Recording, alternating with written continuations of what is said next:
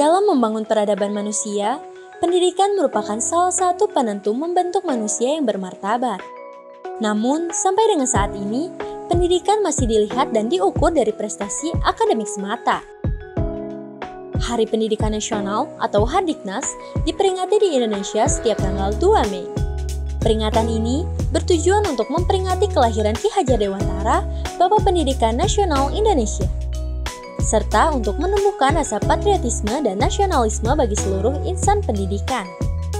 Peringatan Hardiknas ini menjadi momen refleksi bagi semua pihak akan pentingnya pendidikan bagi suatu bangsa dan negara.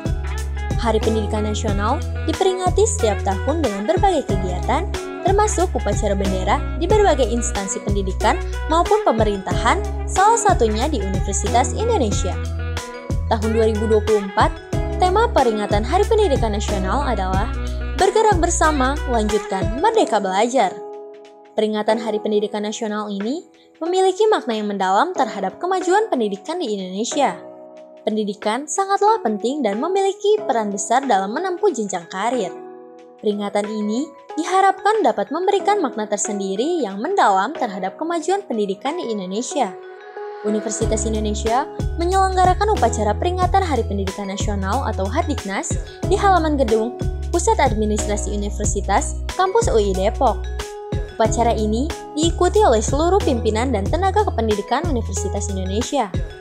Dalam upacara ini, Rektor Universitas Indonesia bertindak sebagai pembina upacara.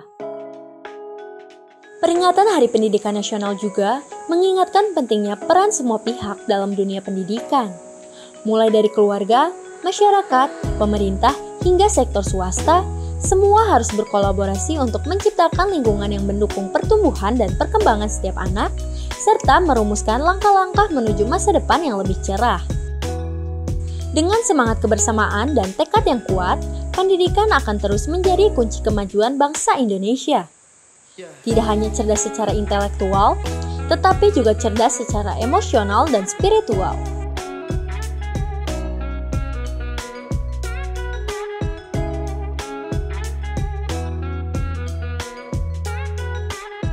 Ya, menurut saya pribadi, Hari Pendidikan Nasional ini sebagai salah satu bentuk apresiasi yang besar dari pemerintah untuk Ki Hajar Dewantara yang juga merupakan hari lahir beliau. Karena uh, dengan adanya Hari Pendidikan Nasional ini kita makin berefleksi juga apa yang kita bisa lakukan, semangat pembangunan dalam bidang pendidikan dan bagaimana kita bisa bersinergi agar pendidikan Indonesia makin maju.